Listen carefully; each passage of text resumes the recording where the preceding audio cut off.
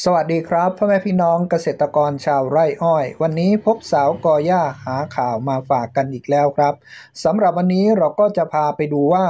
ภูมิธรรมสั่งตั้งคณะทำงานแก้ไขปัญหาน้ำตาลทรายภายใน 1 เดือนนั่นเองครับ หลังจากที่ตัวแทนชาวไร่อ้อยทั้ง 4 องค์กรได้เข้าพบก่อนเปิดหีบอ้อย ครั้ง ใหม่นั่นเองครับ ก่อนไปฟังรายละเอียดต่างๆ ก็ช่วยกดและติดตามให้ทางช่องเป็นกำลังใจให้ด้วยนะครับภูมิธรรมสั่งตั้งคณะทำงานแก้ไขปัญหาน้ำตาลทรายในหนึ่งเดือนหลังหาหรือร่วมกับตัวแทนชาวไร่อ้อย 4 องค์กรก่อนที่จะมีการเปิดหีบ ระบุ หากได้ข้อสรุปเร็ว สามารถดำเนินการได้เลยทันที นายภูมิธรรม รองนายกรัฐมนตรี และรัฐมนตรีว่าการกระทรวงพาณิชย์ เปิดเผย ภายหลังการหารือร่วมกับตัวแทนชาวไร่อ้อย 4 องค์กรชาวไร่อ้อย ได้แก่สาพันธ์ชาวไร่อ้อยแห่งประเทศไทย ชมรมสถาบันชาวไร่อ้อย ภาคอีสานสสมาคมชาวไร่อ้อยแห่งประเทศไทย สมาพันธ์ชาวไร่อ้อยแห่งประเทศไทยว่า ที่ประชุมจึงได้เห็นชอบในการจัดตั้งคณะทำงานบริหารความสมดุลในอุตสาหกรรมอ้อยและน้ำตาล โดยมีนายยันยงพวงราชที่ปรึกษารองนายกรัฐมนตรี เป็นประธาน มีอธิบดีกรมการค้าภายในเป็นเลขา และมีอธิบดีกรมการค้าต่างประเทศ อธิบดีกรมเจรจาการค้าระหว่างประเทศ รวมถึงตัวแทนจากกระทรวงอุตสาหกรรม กระทรวงเกษตรและสหกรณ์และชาวไร่อ้อย 4 คน ร่วมเป็นคณะทำงานด้วย โดยให้ประชุมหารือ ข้อสรุปแนวทางการแก้ไขปัญหา รวมถึงข้อเสนอแนะในการแก้ปัญหาอุตสาหกรรมอ้อยและน้ำตาลทราย โดยให้กรอบเวลาในการทำงานภายใน 1 เดือนนี้ ก่อนที่จะมีการเปิดหีบ หากสามารถได้ข้อสรุปเร็วก็จะสามารถดำเนินการให้ได้ทันทีนั่นเองครับ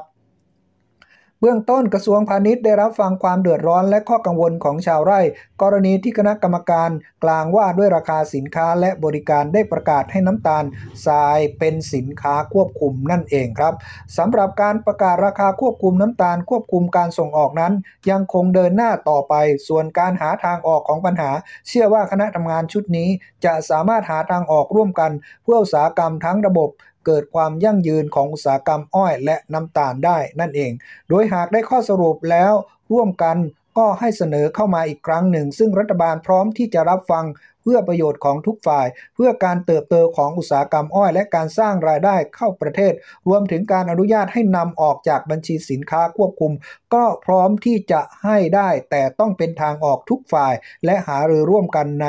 ให้ครบทุกฝ่ายแล้วเท่านั้นโดยกำหนดการประชุมร่วมกันนัดแรกในวันที่ 6 พฤศจิกายนที่จะถึงนี้นั่นเองครับ นายกำธรกิติโชคทรัพย์นายกสมาคมกลุ่มชาวไร่อ้อยเขตเจ็ดนายกสมาคมชาวไร่อ้อยเขตเจ็ดกล่าวว่า การหารือในวันนี้สมาคมชาวไร่อ้อย เห็นด้วยกับการตั้งคณะทำงานร่วมขึ้นมาเพื่อเพื่อแก้ปัญหาระยะยาว ซึ่งในระหว่างนี้จะไม่มีการปิดโรงงานหรือระงับการขนน้ำตาลออกจากโรงงาน จนถึงวันที่ 6 พฤศจิกายน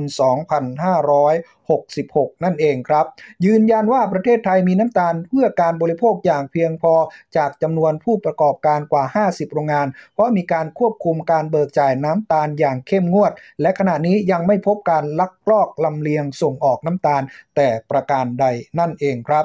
และสุดท้ายนี้ก็ เหมือนเช่นเคยนะครับสำหรับใครที่เข้ามาชมและก็รับฟังแล้วช่วยกดและก็ติดตามให้ทางช่องเพื่อเป็นกำลังใจและจะอัปเดตข่าวๆเกี่ยวกับอุตสาหกรรมอ้อย และชาวไร่อ้อย เอามาฝากกัน